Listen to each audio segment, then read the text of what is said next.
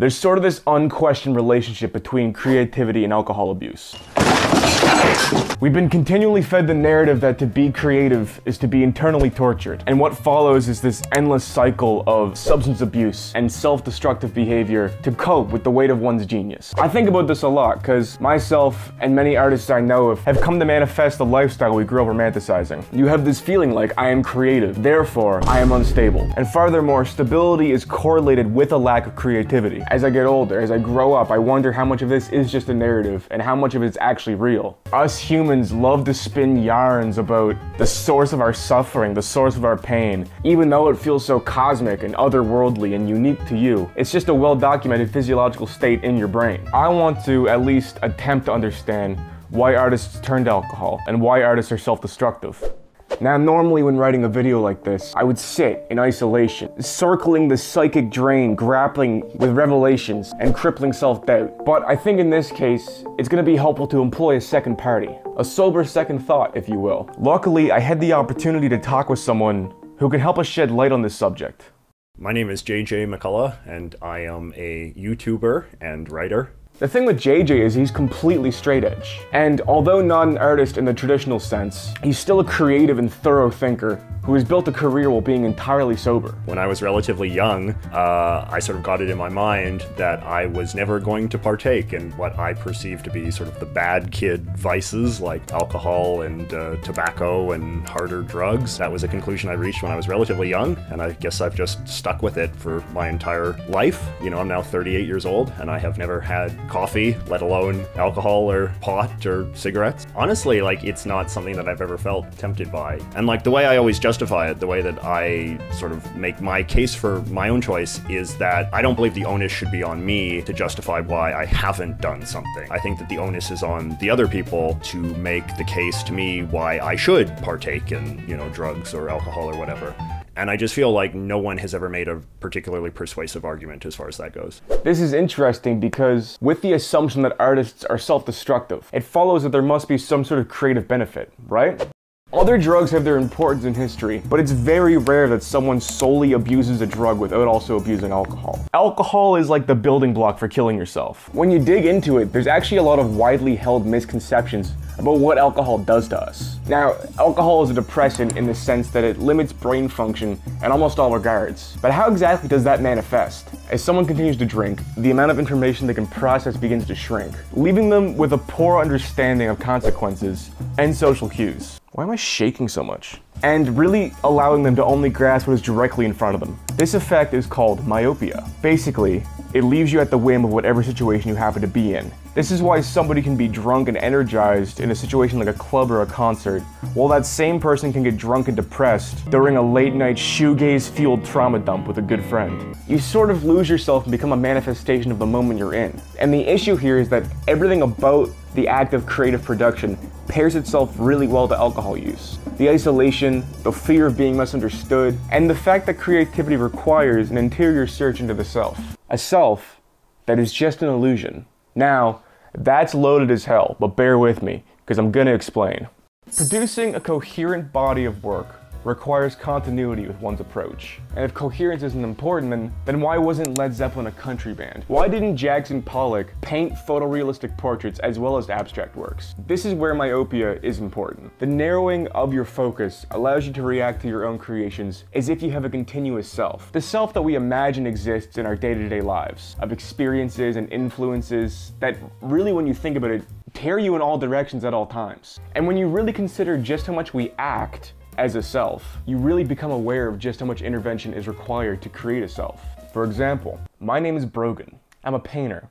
I run a YouTube channel about art, and I like to wear all black. Nothing is stopping me from doing literally anything else that I want to. I have just chosen to wake up every day and make decisions and intervene to create continuity in my character. When you drink, this becomes much easier. You become a predictable and reactionary self, capable of staying in the moment and creating something coherent. I'm getting a little off topic, so now that you're all suicidal, let's go back to JJ. If it is, yeah, so if it's so common with creatives, how do you um, see the impact on the work? It's hard to say, you know, like it's it's it's hard for me to sort of say what the visible impact is in people's work. The the way that I guess it manifests the most is I feel like it does have a kind of demotivational factor. I feel like I notice in some people's lives, like if they're really prone to, you know, getting high a lot or getting drunk a lot, you do kind of start to notice the degree to which that prevents them from being as productive as they might ordinarily be. Then, you know, you do start to pick up on the way that that is having an impact on their ability to be as prolific as they might otherwise be if they could sort of have their life in a little bit more order and not, say, party quite as much. Kind of in contrast, that's been the positives in your life from staying sober is you've maintained like a good schedule and like been productive. I, I, I would say so. Like I like to think of myself as someone that's you know that's obviously kind of self-disciplined in this way and self-discipline manifests in many different ways right so it's like I, I think of myself as somebody who has good work habits which is a product of the self-discipline when i compare myself to to other people whose lives you know in some ways seem a bit more disorganized or their ability to sort of churn out content so to speak is not quite as stable as my own you know, I have to sort of reach the conclusion that maybe the fact that I'm not a big party guy, I'm not a big drinker, you know, that I have never had the experience of having plans upended because of, you know, things I chose to indulge in. What JJ mentions here brings us to the other end of the spectrum, as well as having to grapple with the actual difficulty of creating. A widely accepted misconception on how the creative process works is its reliance on inspiration and motivation. You can't choose when to be motivated, and you can't choose what motivates you. Let's apply that analogy to fitness. If you're overweight and your goal is to lose 50 pounds, then you have strong motivation to do so, then you'll lose the 50 pounds. When you lose the 50 pounds, the motivation no longer exists. And unless you have the structure and the discipline to maintain what you've lost, you'll gain it all back. And most do. About 90% actually. Creativity works the same way. How are you going to continue to be creative and productive without the discipline to do so? There really hasn't been a famous artist. There really has not been a genius creative who didn't put the time in, who didn't have discipline to do it. Like Hunter Thompson, somebody who is considered a lord of chaos, would rewrite entire books word for word just to practice writing. Francis Bacon would wake up every day at the same time, no matter how little sleep, no matter how hungover, and paint for hours. And although we really only see snippets of these people's lives in documentaries and on TV and in movies. But their day to day is very boring, it's very mundane, because that's what discipline is. If you don't give yourself the structure to create space for motivation and inspiration when it comes, then you're not gonna make it. I know this is something you mentioned to me privately. You said it's like it's like a privilege to be sober. So do you think that's that holds true that it's like a privilege to be sober and to like be able to have like a sober circle? I think it is. I think it is a privilege, and I think it's I think it's rare. And to this day, it's still sort of something that I'm sort of seeking more than I have found. It is a privilege when you can be in spaces where you don't have to constantly explain yourself, where your lifestyle decisions can be taken for granted as being normal or sane or sensible, and to have that sensation of being sort of around peers who sort of like and appreciate you for who you are and decisions that you've made as opposed to just sort of questioning them as a deviation from some sort of norm.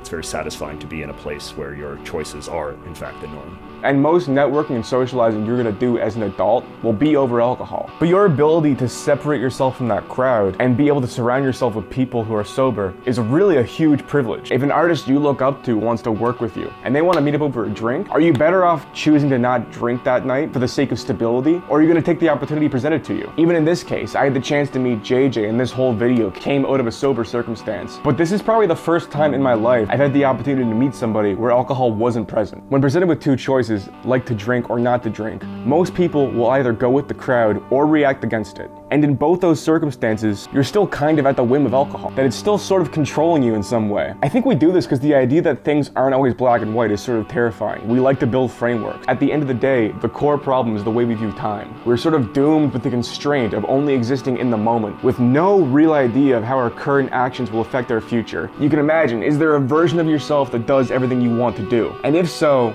is every deviation from that version of yourself a failure? How do we grow while also giving ourselves enough structure to grow? There's no real framework to approach this. The only advice you can actually learn from is to how to better react to the moment as it approaches you, not how to create the world as you want it to be. I'd be lying to myself if I told you I think you shouldn't drink, or that there is no benefit to the creative process. And I think most artists grapple with that, and that's why so many artists drink. If you're not reactionary, if you think freely and you really try to do what's best for you, you try to give yourself the best cards possible, you're probably going to be all right.